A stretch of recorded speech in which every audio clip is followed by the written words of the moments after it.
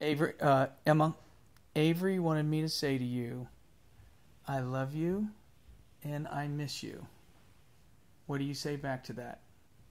Anything? Anything?